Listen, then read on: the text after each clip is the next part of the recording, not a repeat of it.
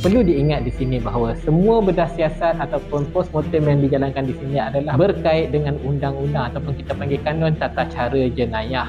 Bagi tisu jenazah Islam, kami akan kebumikan di tanah perkuburan yang telah ditetapkan oleh pejabat agama. Bagi tisu jenazah non-Muslim pula, kami akan proses mengikut cara masing-masing. Selagi mana kita buat kerja dengan jujur, insya-Allah tak ada apa yang boleh mengganggu kita.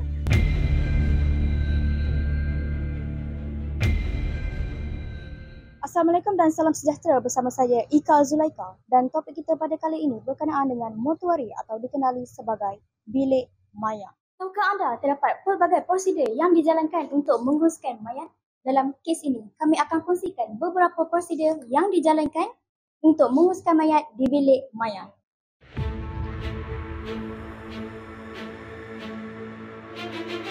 Assalamualaikum, saya Dr. Roy. Saya bertugas sebagai pegawai perubatan forensik. Saya dah bertugas di jawatan ini lebih daripada 10 tahun.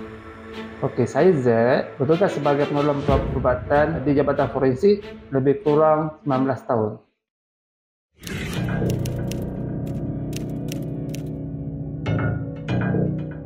Kerana saya dapati bidang forensik ini unik dan tidak diketahui ramai. Selain daripada saya dapat merungkai pelbagai misteri dan juga saya dapat bercampur dan berkenal sua dengan banyak pihak terutama pihak polis dan juga pihak mahkamah dan sebagainya.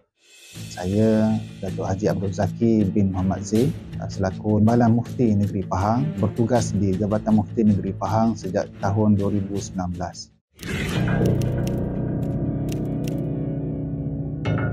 Dalam pengurusan jenazah dia merupakan salah satu daripada tanggungjawab fardu kifayah yang mana menjadi suatu kewajipan jika sekiranya satu kumpulan, satu kelompok, satu masyarakat tidak ada mereka yang boleh menguruskan jenazah, maka mesti ada orang yang akan menguruskan jenazah.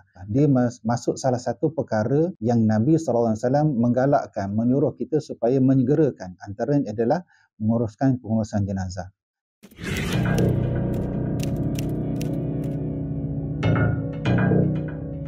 Sejurus mendapat maklumat daripada pihak polis untuk menghantar ah, satu jenazah, kami akan bersedialah sebarang kemungkinan dari segi persedia sedia untuk menerima jenazah. Kemudian apabila jenazah yang sampai dibawa oleh truk ataupun robot polis, kami akan mengambil mengikut prosedur uh, memakai PPE apa semua. Kemudian kami masukkan ke dalam peti yang berkenaan dan di, diikatkan untuk kita screening dia negatif COVID ataupun tidak. Uh, kemudian setelah kita masuk dalam peti, kita akan daftarkan dalam buku daftar dan apabila kita uh, mendapat arahan pihak polis iaitu pukul 61 atau pukul 61 kami akan memaklumkan kepada pihak ataupun doktor kami seterusnya untuk tindakan lanjut lah.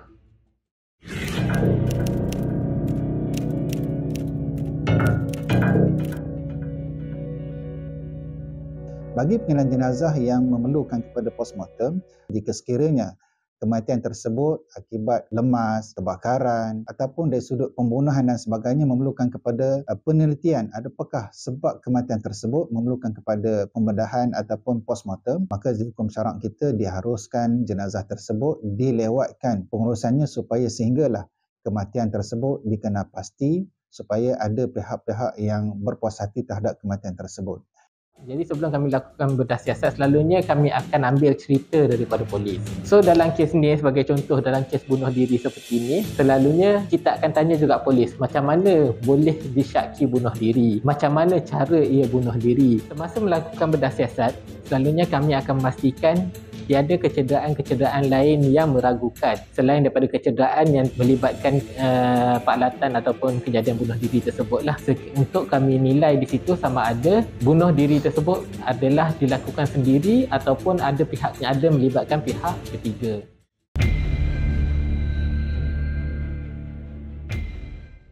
Okay, dalam kita berhadapan dengan isu tekanan yang semakin mencabar sekarang ini, kita seharusnya cuba mencari satu coping skill ataupun daya tindak yang positif, yang terbaik untuk diri kita. Contohnya meneruskan hobi-hobi kita, bersenam ya, supaya kita tidak melakukan perkara-perkara yang boleh mendaruratkan diri kita pada mereka yang tengah struggle dengan isu tekanan sekarang ini, saya doakan anda semua dipermudahkan dan sayangilah diri anda, sekolah anda menyayangi orang lain. Love yourself.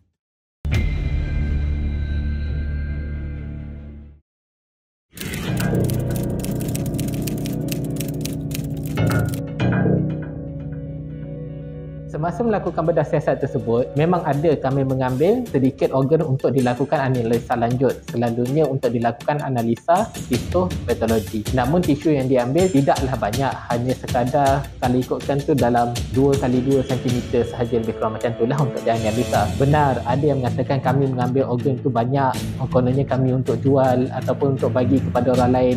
Tidak, itu semua tidak berlaku. Seperti kita semua tahu, apabila orang tersebut telah meninggal dunia, organ-organ tersebut juga telah turut sama sel-sel dalam organ tu turut sama mati bersama tuan punya badan.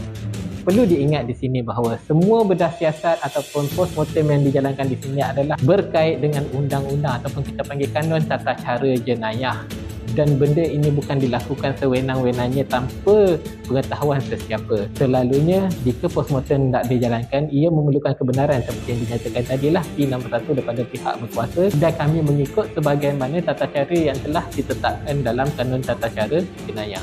Jika terdapat saksi baki selepas daripada proses histologi tersebut, bagi tisu orang Islam, jenazah Islam kami akan kebumikan di tanah perkuburan yang telah ditetapkan oleh pejabat agama. Bagi tisu jenazah non-muslim pun dia kami akan proses mengikut cara masing-masing. Kalau sekiranya perlu ditanam kami akan tanam. Sekiranya perlu dibakar kami akan serahkan kepada pusat tempat pembakaran mayat lah.